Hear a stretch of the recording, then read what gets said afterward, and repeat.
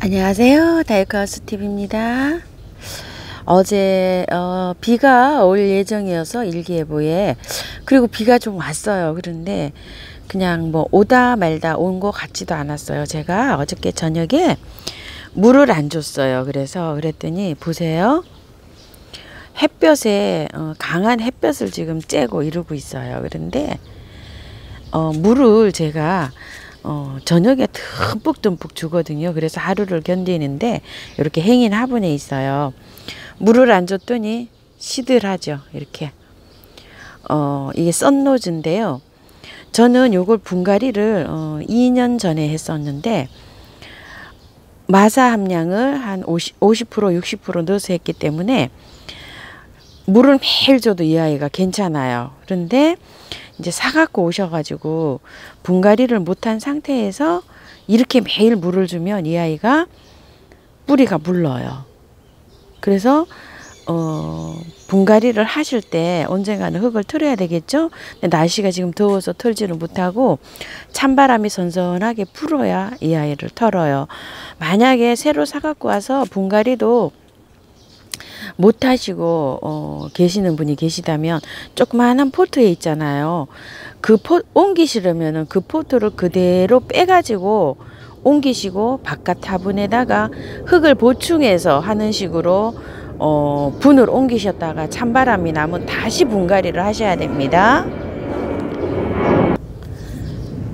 흙을 다 털고 어, 이제 분갈이 하시기 전이시면은 어, 저처럼 이렇게 햇볕에 많이 이렇게 쨍하고 키우시게 되면 물의 양을 더 많이 요구를 요구가 되잖아요. 그러니까 일단 사갖고 오셔서 흙을 다 털지 않고 분갈이를 안 하시는 분은 이렇게 저처럼 햇볕에다가 놓지 마시고 방 그늘에다 두시든지 아니면 10시부터 한 두세 시까지는 차강을 해주세요. 그, 그 아이는 차강이 힘들다면 화분을 빼서 안으로 실내 안으로 그늘이 좀 지는 곳에서 이렇게 두시고 바깥으로 내놓으시고 이런 방식으로 한번 해보세요. 왜냐면 물을 그렇게 저처럼 많이 주면 뿌리가 물을 수밖에 없습니다. 요건 그렇게 말씀드리고요. 오늘 또 몇 가지를 골라봤는데요. 휴케라가 예쁘고 해서 구입을 했는데 그늘에서 키우고 있는데도 시들시들하다고 말씀하세요. 그런데 요거를 한번 말씀드려 볼게요. 저도 여기 한시간 정도 햇볕이 들어오는 곳인데요. 분을 털고 하셨는지 그냥 분갈이를 하셨는지는 모르겠지만 저번 영상에도 말씀드렸는데 이 휴케라는 여기 목대를 어머나 이렇게 나오게끔 심으셔야 돼요. 이렇게요.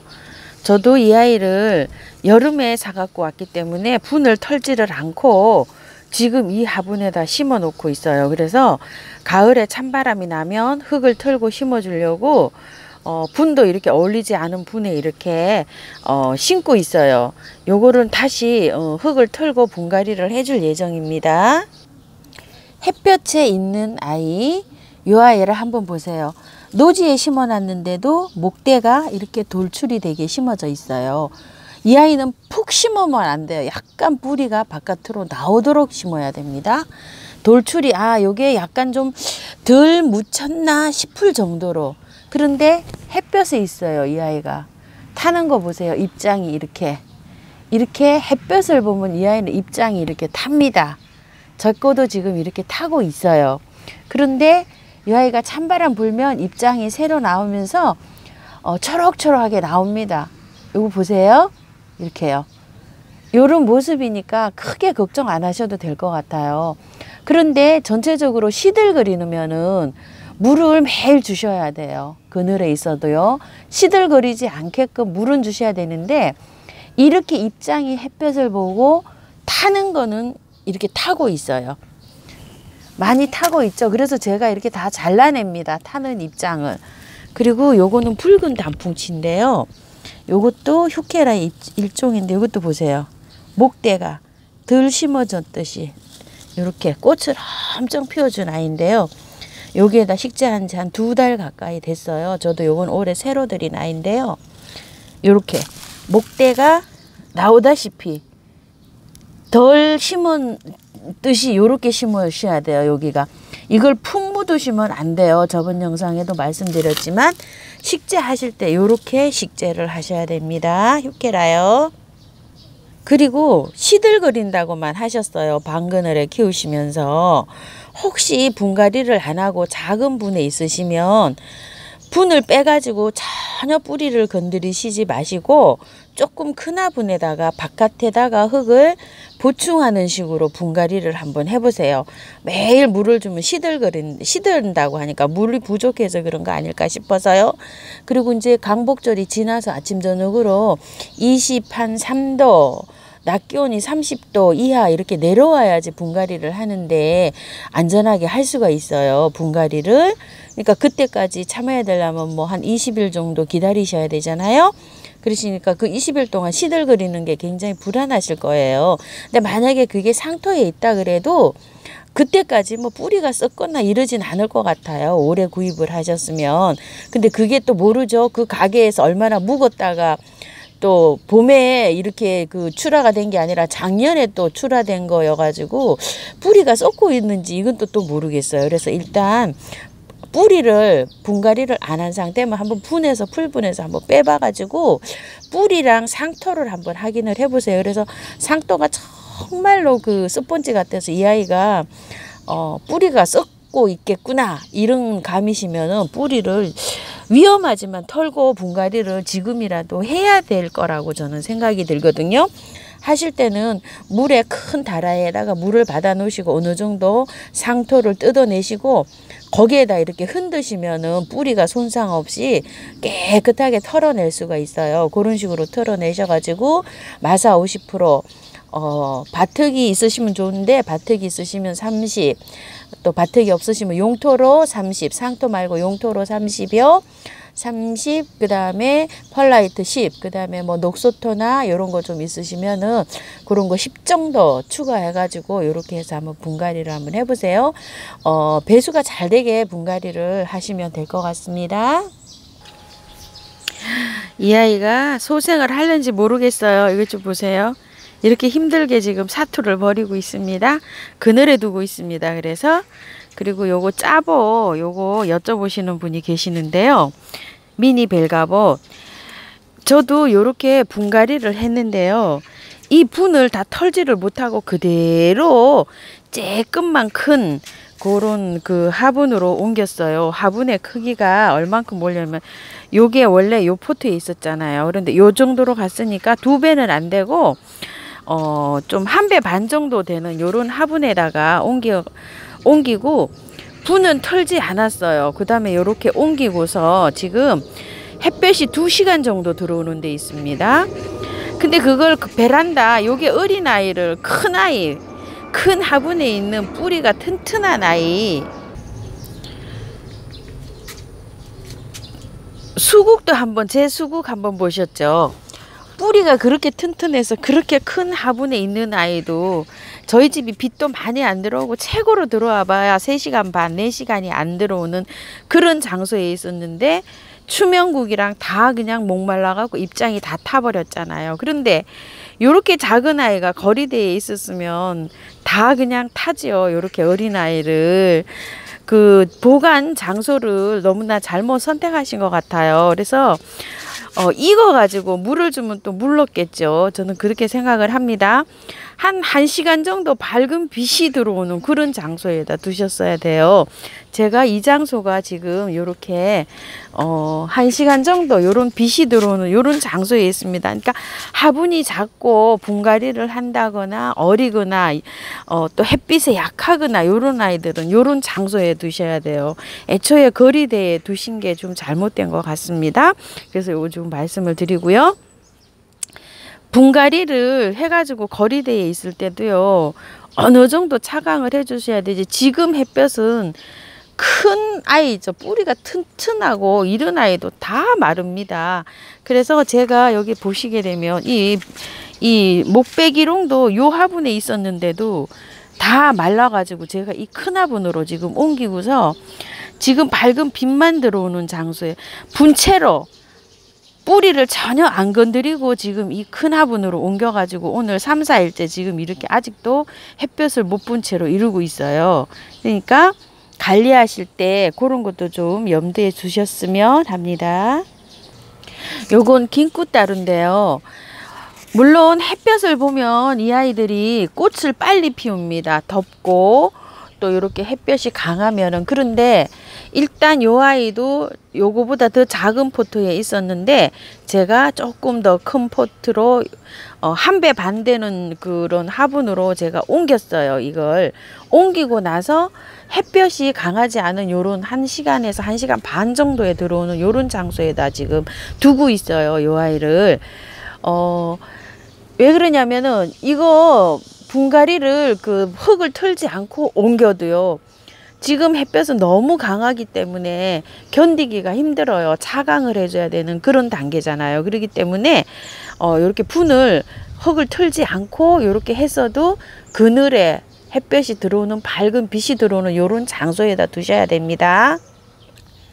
식물을 사갖고 와서 어 이제 이 화분에 심든 노지에 심든 어, 월동이 되고 단연생 있죠. 그런 아이들이 이게 뿌리에서 그 이듬해 그 저기가 어, 새싹이 나고 안 나고는 이렇게 보시게 되면 한번 보세요.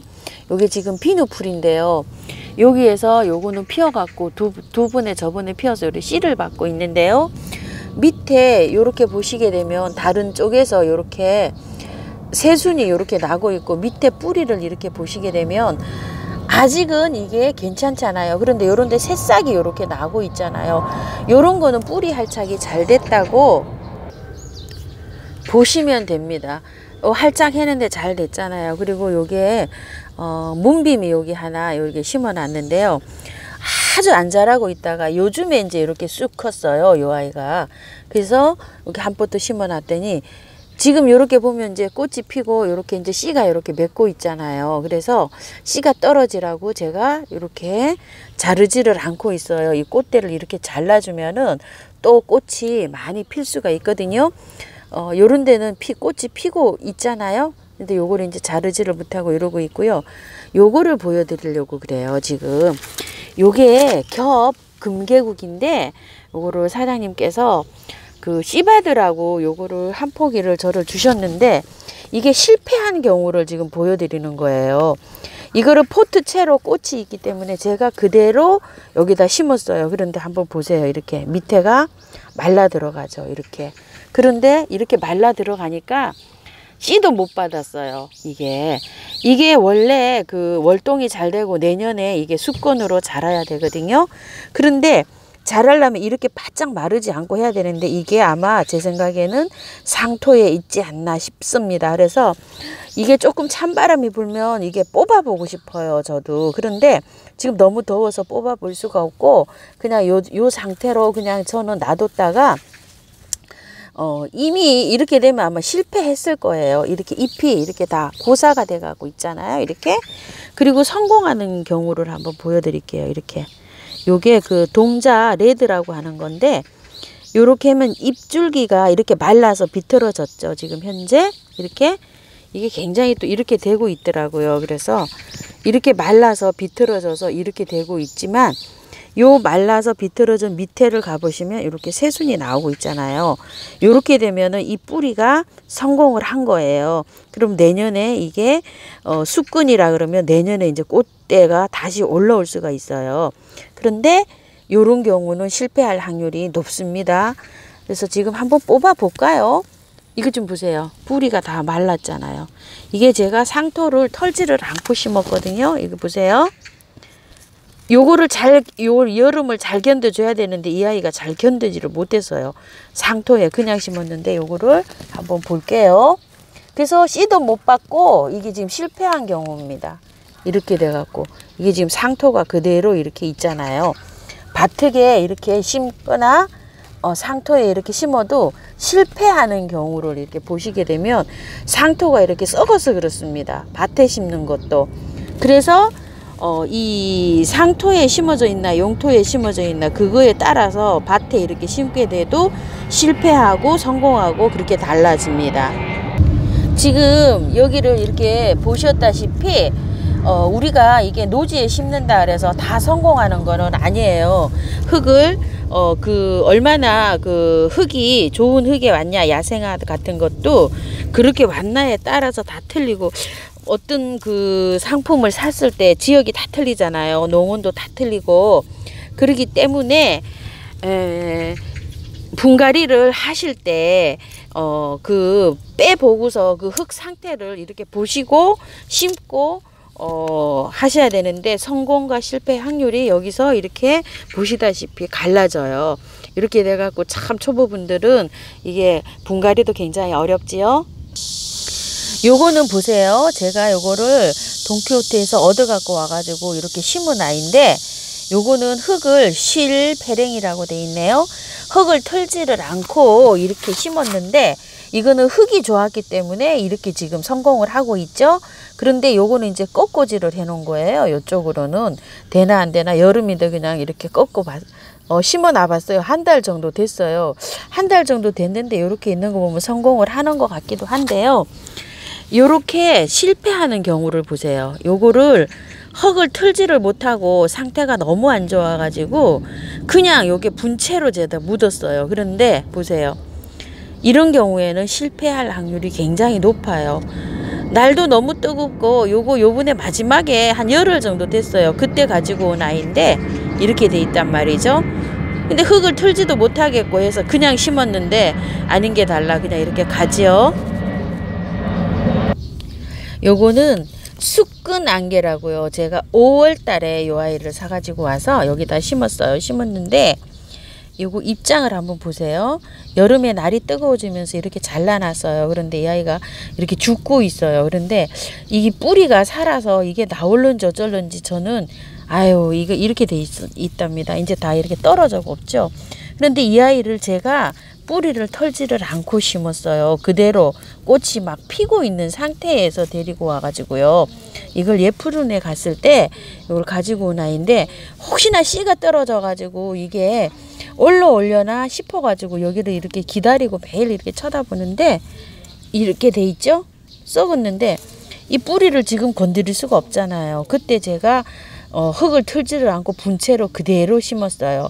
근데 그대로 심으면 이런 경향이 참 많습니다. 그래서 어, 분을 사갖고 왔을 때 위험해도 흙을 털고 심, 심어야 되는 게 어, 이런 이런 데 있습니다. 그래서 어, 분갈이를 그 흙을 털고 안 털고 심느냐에 따라서 차이가 많이 나죠. 그래서 여름에는 분을 털고 심으면 또 위험해서 뜨거워서 죽어요. 그래서 어, 임시로 분갈이를 다른 포트로 옮겨놨다가 다시 찬바람이 나면 다시 분갈이를 하는 그런 방식으로 여름에는 분갈이를 취하고 있습니다. 아, 오늘도요, 여러 가지 또, 어, 어, 지나, 시간이 이렇게 많이 갔어요. 카랑코에 제라늄 질문하신 분도 계시는데요. 다음 영상에서 말씀드릴게요. 시간이 너무 지나갔습니다. 이 추면국도 그렇게 힘들어 하다가 이제 회복이 돼서 이렇게 또 이제 꽃대가 이렇게 물고 올라옵니다. 아유, 참 다행입니다. 이렇게요. 이렇게 큰 아이도, 이렇게 큰 화분에 있는 아이도 저 그때 그렇게 힘들어 했잖아요. 그러니까 작은 포트에서 그 키우시는 분들은 그렇게 배치하는 것도 약간 좀 신경을 써 주셔가지고 예쁘게 키우시기 바랄게요. 감사합니다. 다이크하우스였습니다.